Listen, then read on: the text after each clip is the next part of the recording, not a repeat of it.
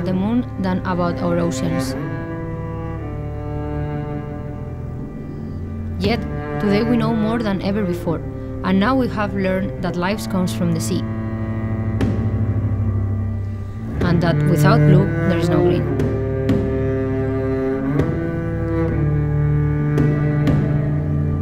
Our generation is the first one suffering directly the consequences of climate change caused by human actions extinction of species.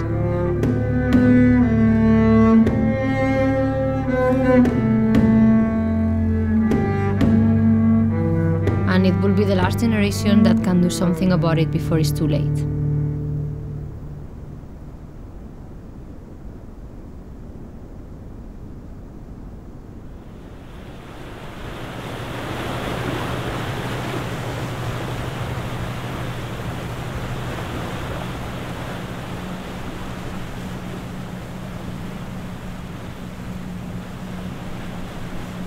So when we're looking for whales, think about blows coming out. Okay, a blow is when a whale is breathing, it has to come to the surface to breathe because they are mammals, they have big lungs, so they need the oxygen from the air. So then we will see a blow coming out. My name is Belen Garcia, and I come originally from Spain. And I am a marine biologist, and I work here in Iceland at the moment.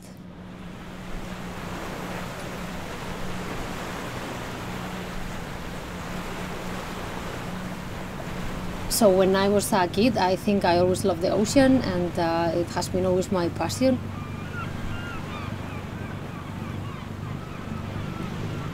I just really knew that okay, that's that's gonna be my future. You know, I'm just gonna work in the ocean somehow. So I started guiding, and it's a very nice job because you have the opportunity to teach all these people about what you feel about the ocean and how important the oceans are. There you go. Enjoy.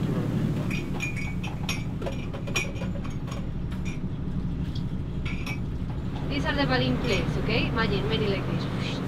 And hanging from here. And I think education is absolutely important. First, number one thing important when it when it comes to to making a change because you need people involved. You need people to understand why we need to protect this.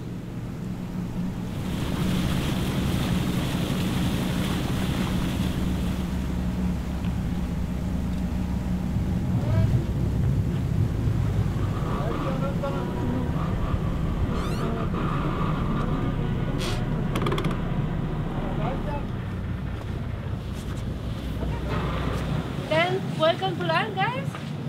Thank you for coming. Have a nice day. Thank you. Bye.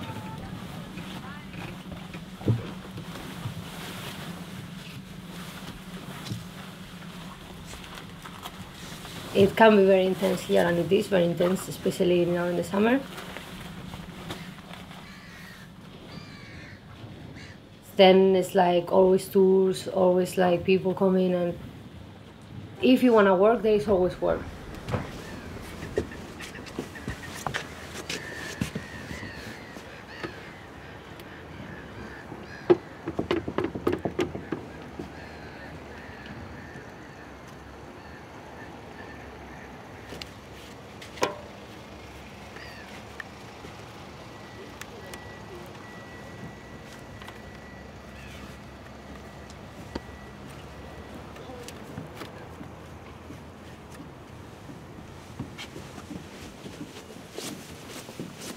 It's a job that demands a lot because like the fact that you are working in front of people and you have to pretend that everything is super amazing which it is. I mean you always uh, like bring your bright side you know like to the people because of course there is always a bright side but but then you feel really tired you know after like oh man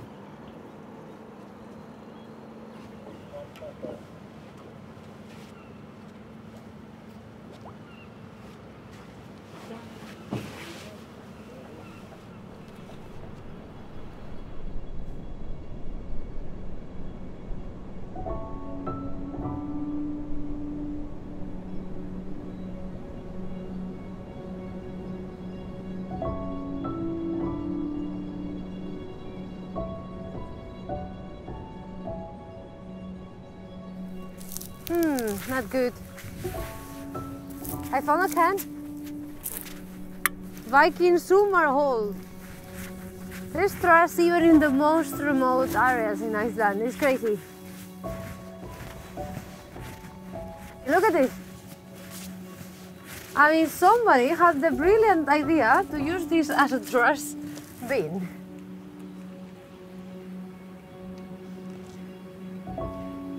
And uh, that's the thing, you know, we just take from nature, but we very seldom we just give back or just be fair with, with nature in general. This will last here forever. I mean, this is never degrading, like plastic never degrades. That's the problem. It, it's just like breaking down into smaller pieces, into microplastics.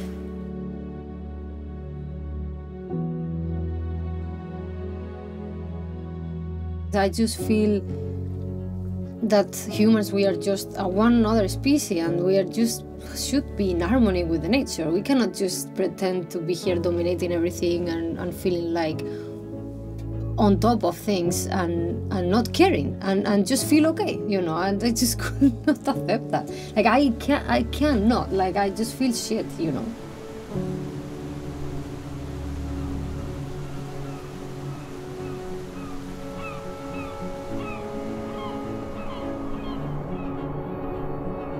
And then I realized that actually you can never change uh, the world, but you have to change yourself.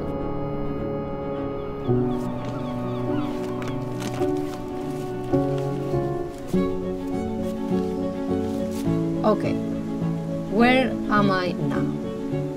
What did I achieve and what can I do with that? And there it came.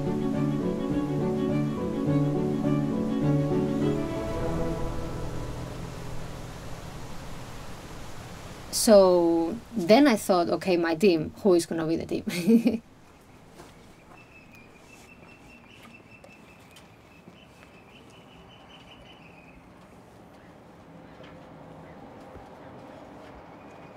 My name is uh, Heimir Harðarsson, born and raised here in north, northeast Iceland.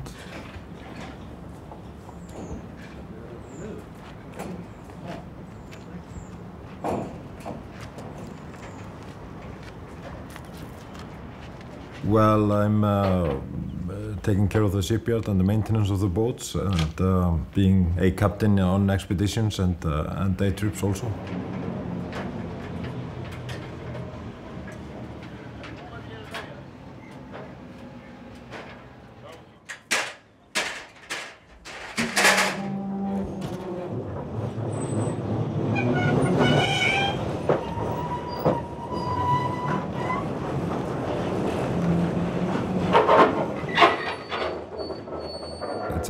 To be working outdoors, being at a beautiful harbor, preparing a boat for a trip with the birds singing around, you know, who knows what is waiting out there.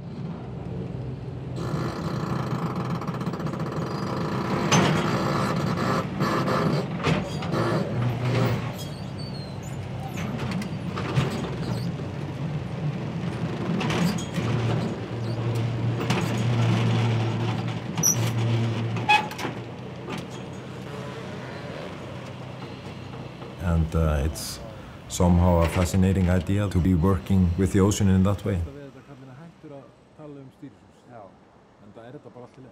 The thing that attracted me from him since the very first minute was when I saw his face when when we were both sailing in Opal. We were working and and then I saw his face of excitement and happiness looking all around with like super happy eyes and just saying, We're sailing and then I was like, Wow, look at your face, you're so happy. And suddenly I was like the same happy and, and I could just really realize and that, that feeling is like amazing. And then I thought, wow, there is somebody else that feels the same, really, like so much connection out there.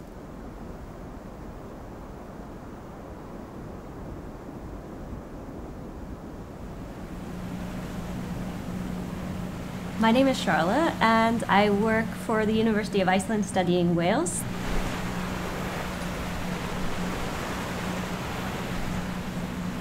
I supervise an internship program, so there's students coming from all over Europe, and they come here to get experience on different techniques of whale research. There's a possibility that we're going to see a humpback today. So the speedboat saw it. Really? So we'll see where it is, hopefully.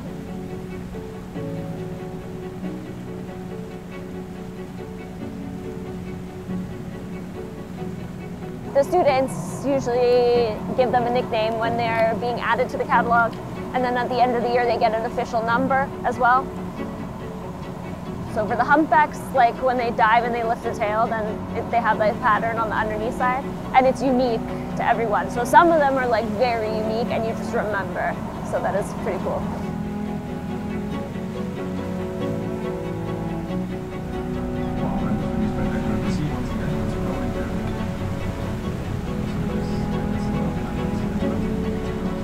when you see like the blue whales here too, like they're so huge. But then it just disappears. And you're like, how is it possible? Like it's like 30 meters long. Where did it go? Like, where? Like, It's crazy, right? It's amazing, yeah.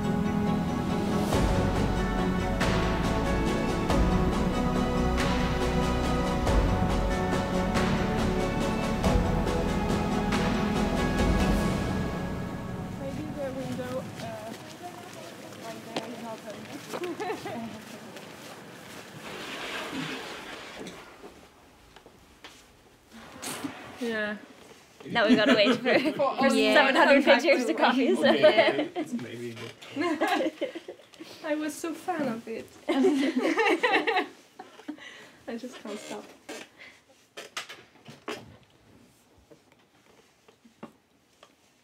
So you would do this last. So you Okay, need to do the these are the ID. okay. You need to do the ID of the whale first, and then either we determine that we have a match or we don't.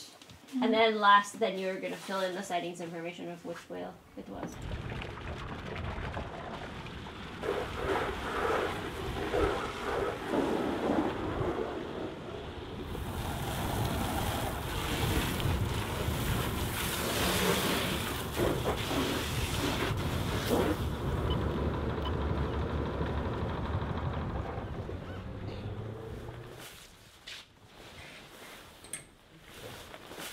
My name is Daniel. Uh, I'm from Spain, and currently I'm working as a guide and as a captain on the whale watching boats. After working many years in, uh, in the whale watching, we also thought that we could do something else.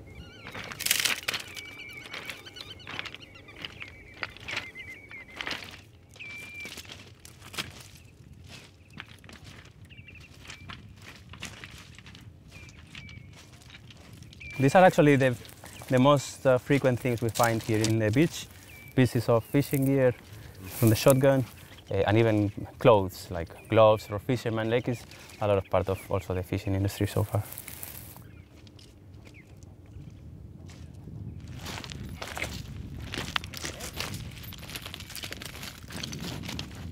I do it for myself. Maybe it's a little bit selfish because I'm the one using this place, but you can come here every day. Anybody can come here and see this area with no trash, and I think that's very healthy for ourselves just to see an area with no human footprint. I think is something that we look for when we go out.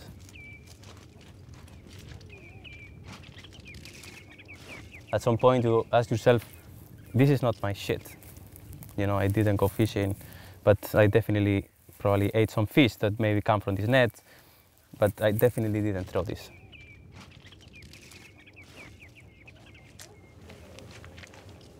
But that's the thing, like if we all think like this, nothing is gonna change.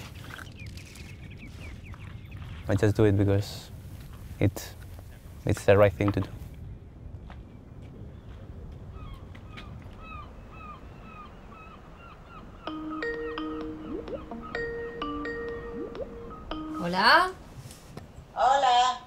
Hola, ¿qué tal? ¿qué pasa? Aquí estoy. En casita, acabo de llegar. ¿Estás currando por ahí o qué? Sí, estamos preparando Opal para la expedición y nos vamos ya en menos de 10 días. En... Sí, sí. Así que estamos ahí, pues eso, pintando, lijando todo el barco y preparando todo. ¿Qué tal los conejos? Mírale cómo salta. Está contento porque le he sacado, le tenía encerrado. Y ahora le he sacado. Y está súper contento. Boli, Boli, ven aquí. Malo. ¡Boli! ¡Boli, ven! ¡Uy, so cute! ¿Ves? Sí. My mom is like, I don't know, it's, it's almost everything to me. I mean, and then, like, it's funny because when I was like a teenager, then then I was not really talking to, to my parents a lot about my life, but now I feel like since I moved away from my house, then I feel like being closer to them actually. So like since I left my house, then I've been more communicative and telling them more about my life and who I am. And the only thing is like, it feels very good to feel to see the family and to be surrounded by them and that they take care of you, and it, that's of course amazing. But otherwise, if it was not because of my family, that place for me doesn't have anything really. So it means nothing to me really. It's just yeah, I don't know, very empty place. So, ocean is home for me.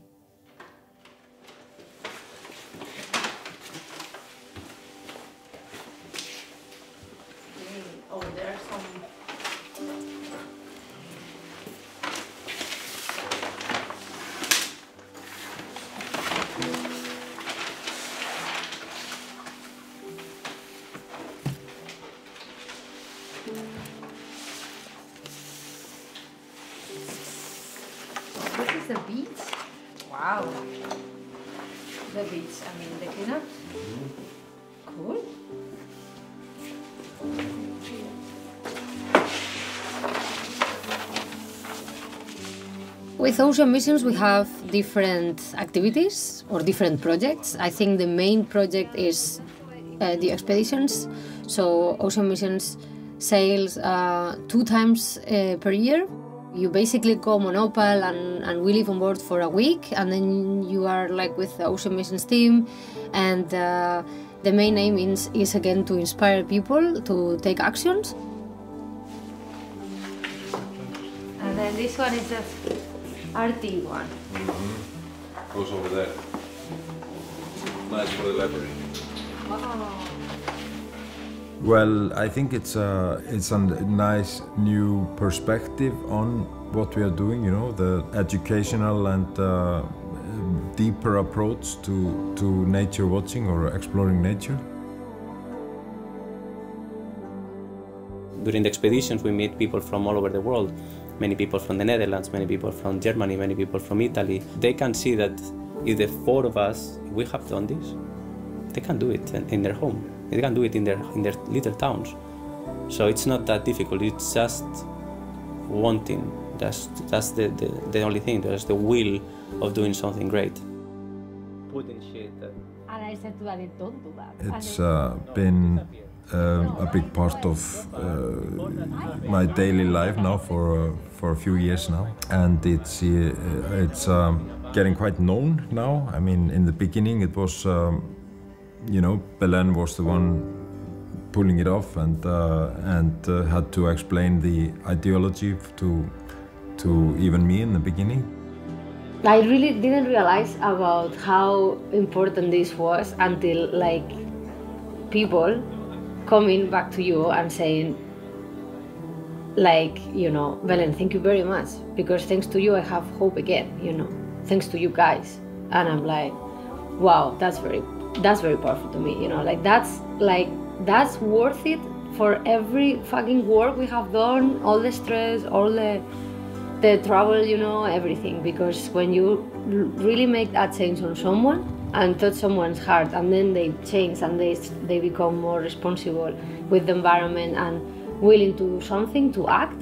For me, that's the best ever like that can happen uh, with ocean missions.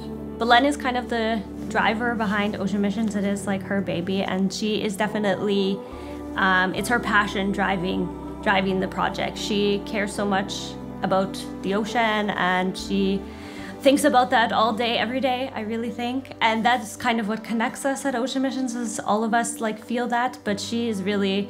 She will work 24 7 for her advocacy for the ocean, and it is inspiring.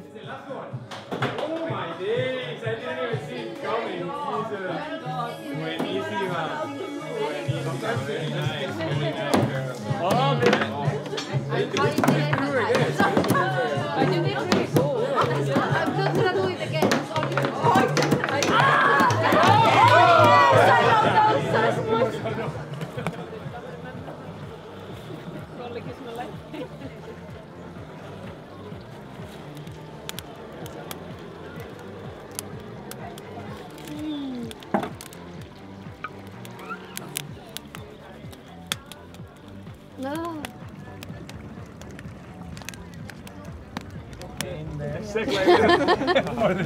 Uh, hello, we watched a documentary yesterday of a rhino.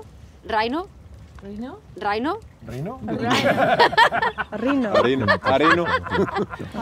Spaniards struggling with pronunciation 101. Rhino? Uh, Not very offensive. Spaniards and Engli- English, it's like uh, you know endless joy with uh, misunderstandings and uh, Yeah. abuse of letters and the alphabet in total. And uh, For me, the group of Ocean Missions is uh, the best team I could uh, have because I think uh, everybody's so different and they are all very funny and they are like a family to me. And uh, but I think we are driven by the same passion, and I think that's the most beautiful, you know, part of it.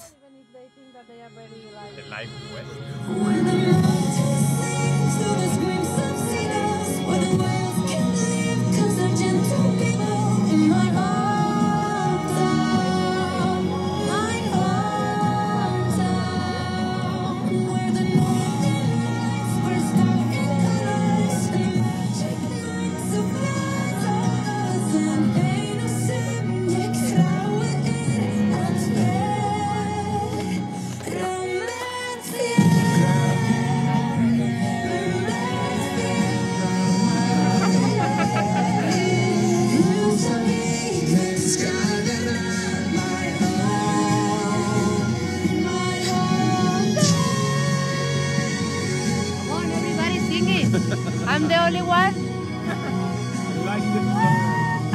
okay, at least some enthusiastic.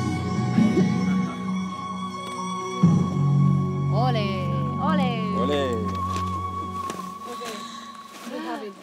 So that's the song of Usavik. Beautiful. It's I like it a such a beautiful song. It's so beautiful.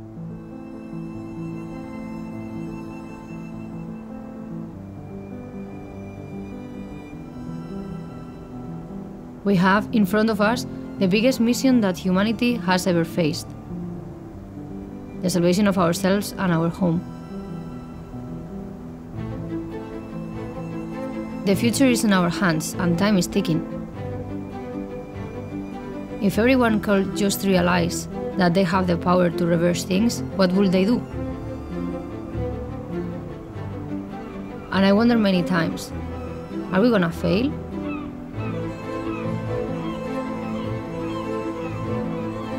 We must believe and feel responsible. We must have hope.